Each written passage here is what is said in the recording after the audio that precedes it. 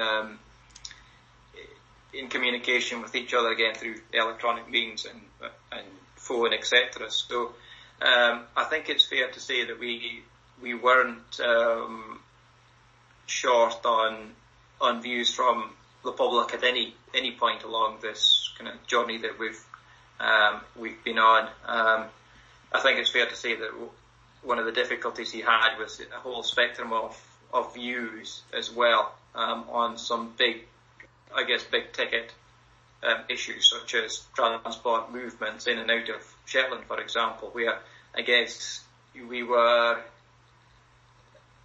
I guess, kind of challenged in in the in the sense that you couldn't achieve a consensus or discuss it in a in a forum that was um, helpful. Um, I would suggest. Um, so again, there was probably a lot of kind of angst in, in the community as well um, around that. Uh, and I guess we couldn't really play a, an active role in that because as, as local government, we, we really didn't have any levers in that space either. Um, so again, a lot of it was probably um, became around defending positions as and explaining positions as opposed to um, could I guess working with the community to come up with solutions because we knew I guess we knew that if there were solutions out there we would probably have very little opportunity to actually enact them.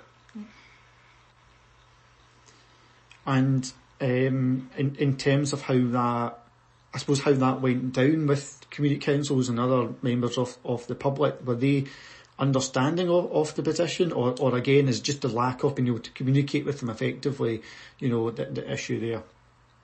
I think it's the, the, the, the inability to, to communicate was the, was the, the challenge to have a, a forum, um, to to do so. Um, and I guess going back to some members, I think felt uncomfortable in that as well, in terms of that role of, of trying to, to explain and um, the the decisions, particularly when they're perhaps not decisions that you would um, agree with. I think that's where where challenges um, came in. Um, and I would use the, the the ones around transport restrictions and testing, for example, on entry. There was a lot that was um, out there, and to be honest, there's still topics of conversation even even today.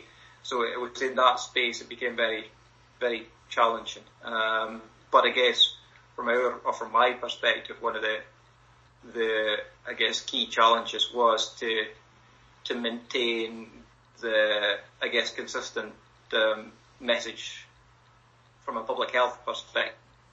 And well, personally, I, I didn't agree with quite a lot that was going on. Still, there was the importance of providing that kind of um, clear and consistent message and, and that leadership for, for the, for I guess, a community planning partnership as opposed to me as a, as a politician challenging and scrutinising decisions that were made by, um, by government or on that.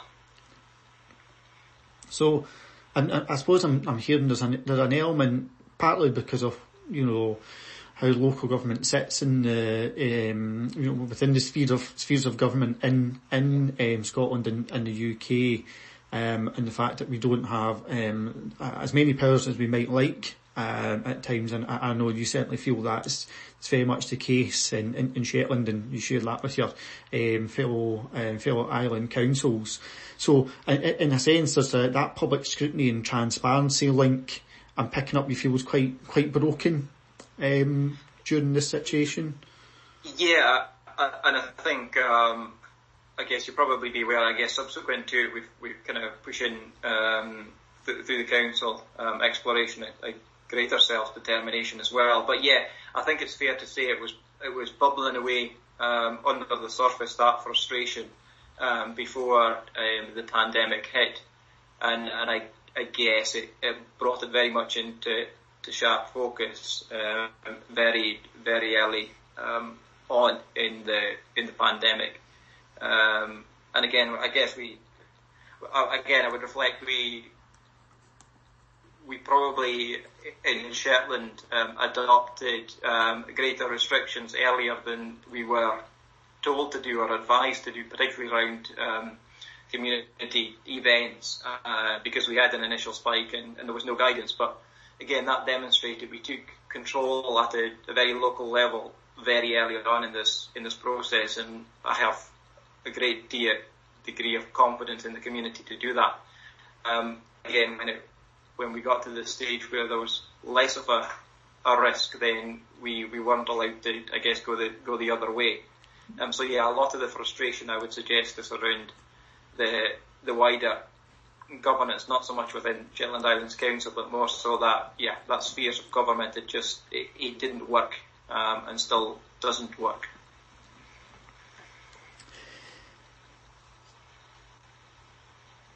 Is there anything in terms of then the um, the arrangements, the emergency decision making, delegated authority?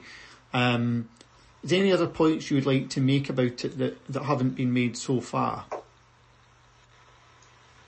Um,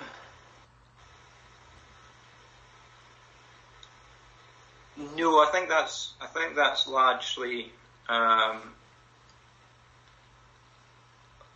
yeah, la- yeah, largely largely covered it. I think without yeah yeah without probably repeating myself, a lot of it was just the yeah frustration with the um, national um, national decisions. But um, I would say I would, take credit to our staff around their innovative ways of translating national directions to um, local circumstances. Because I think we had quite a lot of that um, at the early stages um, around, for example, um, well, I mentioned transport. Another one was around emergency childcare provision, childcare hubs. Again, there was a um, a national direction that again would suggest you open every school and have nobody in them, um, or you can go down our route and kind of create dedicated hubs. I think there was enough flexibility and, and flair um, demonstrated by our staff, which gave me a lot of kind of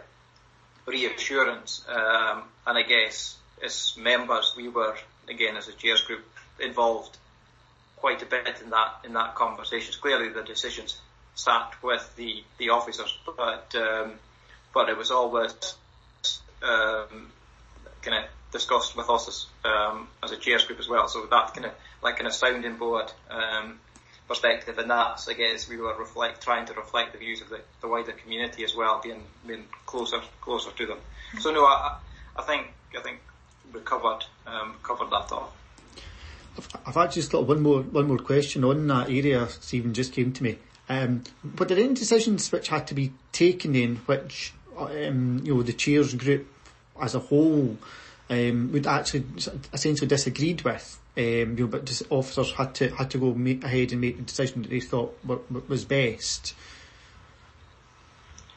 The the only it, it is not really the, the chairs group there. The one that really was challenging was around the fare collections on our ferries, around cash handling. Um, it, it's fair to say that there was um, some of our wider membership who would would sought to remove fare collection from ferries um, on the basis it's cash and it's not safe, um, which um, which was challenging because I think some of the community, to be fair, were using that as an opportunity to get free travel. Um, because I guess we, knowing the, and I guess having the conversations we did with the, the, the staff, the officers, the directors, we knew this situ- situation wasn't going to go away. So we had, as a chairs group, had held held the line in support of the officers on that one. Effectively, continued to collect the fares. Um,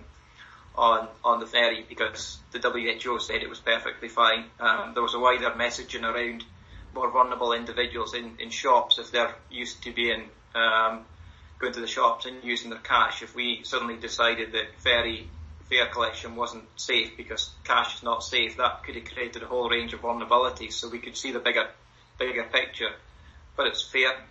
And we had that discussion quite a bit, uh, um, but still we had members who were certainly did not agree with the decision to continue to collect that fares on the ferry with, with cash. Um, it was ultimately the right decision because again, the, the science hasn't changed and if we had removed the fares, we'd still be sitting with a situation with people travelling for free at the moment in time. at the same time as